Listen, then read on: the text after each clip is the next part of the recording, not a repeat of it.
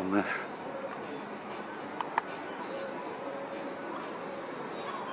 How many colours do you want?